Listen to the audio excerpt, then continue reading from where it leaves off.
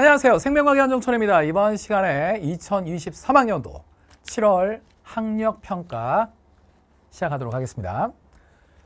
네, 먼저 참고로 7월 학평 분석집 이벤트 SLCC 시작합니다. 많이 응시해 주시고요. 자료실과 공지에 정답 및 해설지 올려드립니다. 학습할 때 참고해 주시기 바라고 그리고 7월 해설 강의를 진행을 할 건데 7월 총평 영상을 따로 찍을 거기 때문에 여기서 또 잡스러운 얘기는 좀 줄일게. 따로 확인해 주시고 예상 등급컷이 의외로 낮습니다. 그 이유는 여러분들 잘 알고 있죠? 내신 대비 기간이라 이 교육청 모의고사는 고3만 보기 때문에 재수생들 안 보거든. 까먹은 거야. 또는 학습량이 많이 부족해진 거지. 난이도 자체는 그렇게 어려운 문제는 아니었어요. 오답률 탑6는 15, 14, 20, 12, 5, 10. 1번 문항부터 시작하도록 하겠습니다. 1번 생물의 특성에 관련된 자료인데요. 가완하는 항상성 발생과 생장 순서 없이라고 했는데 나를 보면 체온유지라고 해서 항상성을 확인할 수 있기 때문에 가가 발생과 생장이며 발생과 생장 같은 경우에는 특히 발생은 수정란에서 하나의 개체가 되는 일련들의 과정이기 때문에 그 과정 속에서 나타나는 핵심 키워드가 나날부나 변태탈피 애벌레 번데 같은 이런 중요한 키워드들이 과거에 이미 기출되었던 것들을 보통 출제자들이 재사용을 많이 합니다. 그래서 요 애벌레 번데기 요 과정을 통해서 발생과 생장을 매칭할 수가 있죠. 그래서 기억 선제 맞고요. 그 다음 그림에 나타난 생물의 특성은 가보다 나와 관련이 깊다. 가보다 나와 관련이 깊다라고 했는데 그렇지 않고요. 가와 좀 더 관련이 깊다. 이렇게 반대로 생각해야겠지. 디귿 선지의 경우에는 생김새에 대해서 얘기를 해주고 있기 때문에 적응과 진화의 사례로서 여러분들이 파악을 하실 수가 있습니다. 정답은 1번이고요.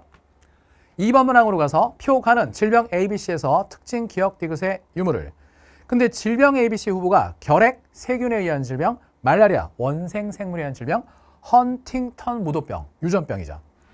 그래서 이 문항을 풀어내는 데 있어서 뭐 거의 대부분 틀리진 않았겠지만 학습을 하셔야 되는 상태가 어떤 상태가 되어 있어야 되냐. 비감염성 질병이 무엇인지 그리고 비감염성 질병의 대표인 사례 알레르기, 대사성 질환, 유전병. 특히 이번에는 헌팅턴 무도병이라고 해서 헌팅턴 무도병에서 유전병 파트에서 배웠던 유전자 돌연변이에 의한 유전병 사례를 출제했다라는 거야. 그래서 이러한 사례들을 외워두시는 것이 도움이 된다.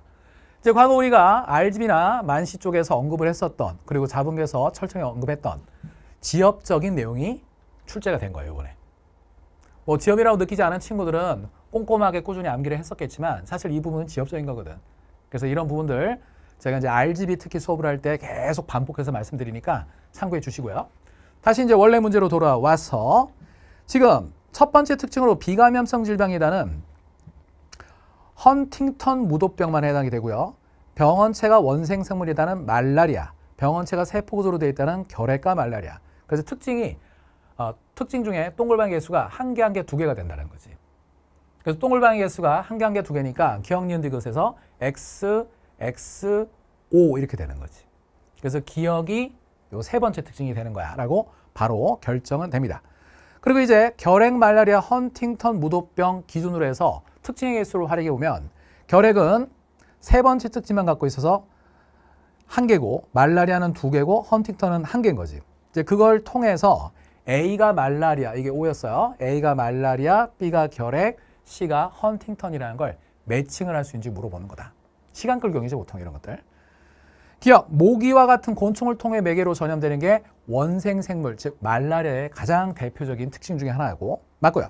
그 다음 니은, 항생제라는 건 세균성 질병 치료제이기 때문에 B가 결핵이라는 걸 확인하는지를 물어보는 거예요. 그 다음 디귿선 확인용 질문 정답은 5번이 되겠습니다.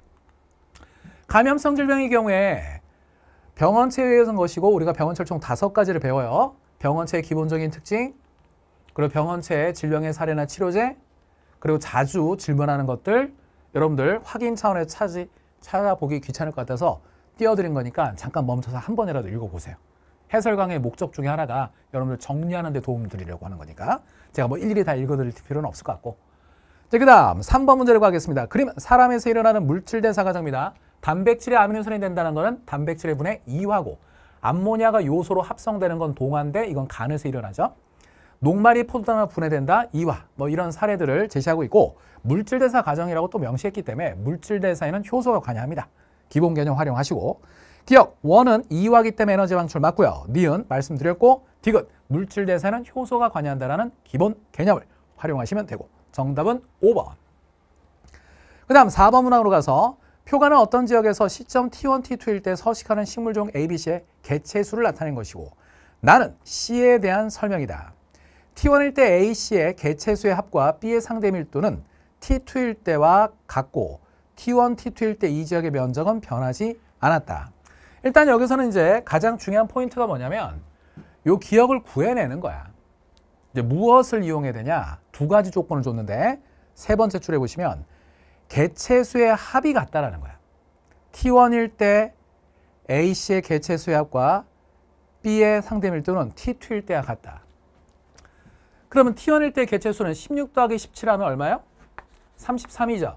그러면 33 더하기 C의 개체수 이렇게 되고 그 다음 T2일 때는 28 더하기 5도 33이죠. 그리고 B의 개체수 기억 이렇게 된단 말이야. 그래서 결국은 33 숫자가 같기 때문에 결국 요 숫자가 똑같다라는 것을 알 수가 있는 거지. 그러니까 요 자리를 그냥 기억으로 해버리면 되는 거지. 상대 밀도의 식은 총 수분의 그 종의 수 곱하기 100입니다. B의 상대 밀도가 T1, T2일 때 같다 라고 했으니까 T1일 때는 결국은 33 더하기 기억분의 17이고요. 곱하기 100, 굳이 식을 다 세운다면 그 다음 T2일 때 B의 상대 밀도는 총 개체 수는 33 더하기 기억분의 B의 개체수, 기억 곱하기 100 이렇게 되는 거지. 그래서 이 식을 정리하게 되면 기억은 17이 나온다라는 거예요. 이제 밑에 선지에서 기억 확인했고요. 그 다음 니은 식물의 종다양성은 T1일 때가 T2일 때보다 높다라고 했는데 종다양성이라고 하는 것은 종의 수가 같을 땐 각종의 개체수 비율이 상대적으로 균일하고 균등한 것이 종다양성이 더 큰 것이기 때문에 T2일 때보다 T1일 때 개체수가 상대로 더 균등하죠. 차이가 적단 말이야. 그래서 니은 선지는 맞습니다. 디귿 선지 대기, 대기 중 오염 물질의 농도는 T1일 때가 T2일 때보다 높다라고 했는데 지금 오른쪽 자료를 보면 결국은 C의 개체수를 통해 대기오염 정도를 알 수가 있는데 C는 대기오염 물질의 농도 높아지면 개체수가 감소한다고 했어. 그럼 요 기억이 17이기 때문에 17에서 5가 됐으니까 T1일 때보다 T2일 때 대기오염이 더 심하다라고 판단할 수가 있다는 얘기인 거지. 그래서 디귿 선지는 반대로 얘기했기 때문에 틀린 선지가 되겠습니다. 정답은 3번입니다. 방금 얘기하는 과정 중에 참고하시라고 상대 밀도의식 다시 한번 말씀드릴게요. 총 수분의 그 종의 수 곱하기 100 모든 종의 상대 밀도합은 100%. 종다양성은 종의 수가 많고 각 종의 분포 비율을 고를수 종다양성이 높습니다. 만약 이 문제처럼 종의 수가 같다면 각 종의 분포 비율이 누가 더 고르냐 이걸로 판단을 하셔야 한다.